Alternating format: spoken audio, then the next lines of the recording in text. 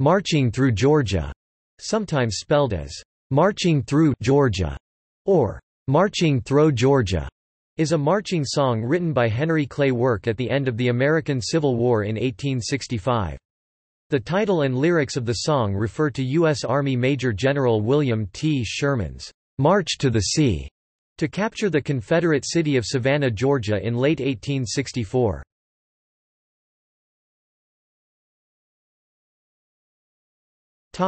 History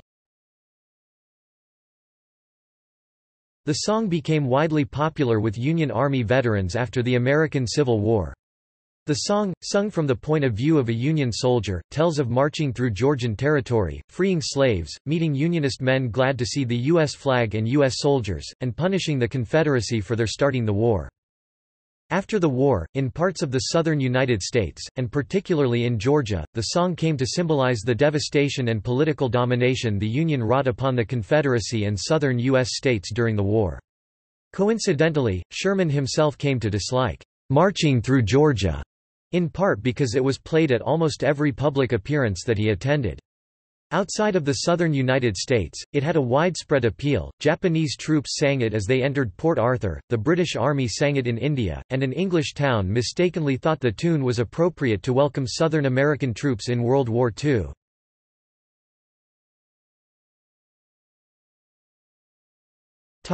Legacy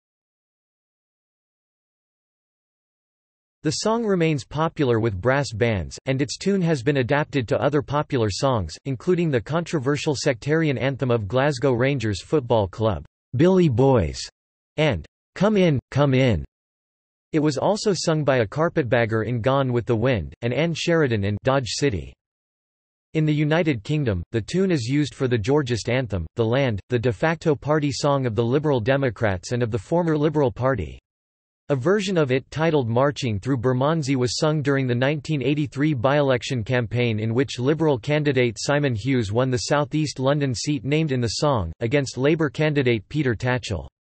The song alludes to Tatchell's homosexuality and Liberal campaign material referred to the by-election as a «straight choice». Hughes held it for the Liberals and subsequently the Liberal Democrats until 2015. An anglicized version of the song was recorded between 1901 and 1903 during the Second Anglo-Boer War. This version, although almost identical, included alternate lyrics and was issued as "'Marching on Pretoria'". On the Zonophone label, George M. Cohan referenced the "'Hurrah! Hurrah!' line in one of the verses of "'You're a Grand Old Flag' juxtaposed with a line from "'Dixie' In 1919 the song was adapted with lyrics by Tomomichi Soeda and Shogetsu Watanabe as Tokyo Bushi Pie, Pie, No Pie, which subsequently became a perennially popular Shin Minyo standard. The song was featured in the soundtrack to the film The Flower and the Angry Waves by Seijun Suzuki. The Finnish protest song, Laiva Toivo, Oulu, English, The Ship Hope, Oulu, is set to the melody of Marching Through Georgia but with Finnish-language lyrics criticizing the actions of the captain of the titular frigate Toivo, the song is referenced in the title of two alternate history novels. S. M. Stirling's Marching Through Georgia references the title, and Ward Moore's Bring the Jubilee references the chorus. In 1924, guitar and harmonica player Charlie Oaks released, "'Marching Through Flanders' for the Vocalion label Vocalion 15104. It bears an identical melody to marching through Georgia, but details the exploits of American troops in Belgium during World War I. On October 12, 1929, for the first football game at Sanford Stadium at the University of Georgia, Yale University was heavily favored. The Yale band had planned to play, "'Marching Through Georgia'", but Yale lost 15–0, and the band had to play something else. Composer Scott Bradley quoted it in his MGM cartoon scores of the 1940s, including the Oscar-winning Tom and Jerry short, "'Yankee Doodle Mouse' 1943 and Tex Avery's "'King Size Canary' 1947. In the latter he ironically juxtaposed it with the tune of "'Yankee Doodle' In the classic Western movie Shane 1953, ex-Confederate Frank Stonewall Torrey Elisha Cook Jr. is goaded by another, harmonica-playing, character with an impromptu rendition of "'Marching Through Georgia' In the 1966 Howard Hawks' western El Dorado, the character Bull, in response to being shot at from a bell-laden church tower and then asked to provide cover, proclaims, "'Well, just give me another gun and I'll play." Marching Through Georgia.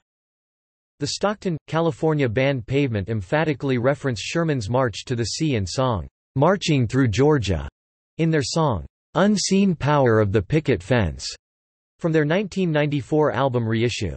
Crooked Rain, Crooked Rain, LA's Desert Origins.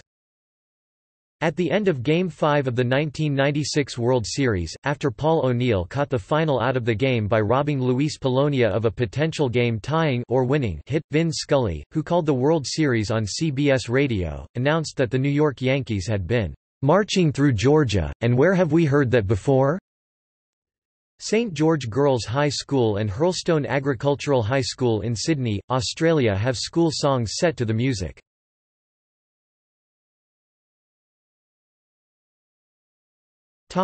Lyrics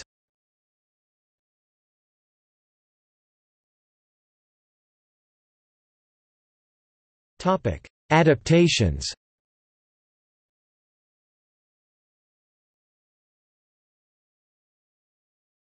Topic: Come in. One version of the chorus for Come In is as follows. Topic: The Land. The first verse and chorus from The Land is as follows. The song was interpolated into the United States of America's The American Metaphysical Circus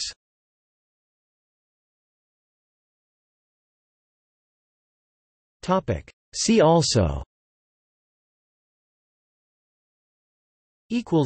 Notes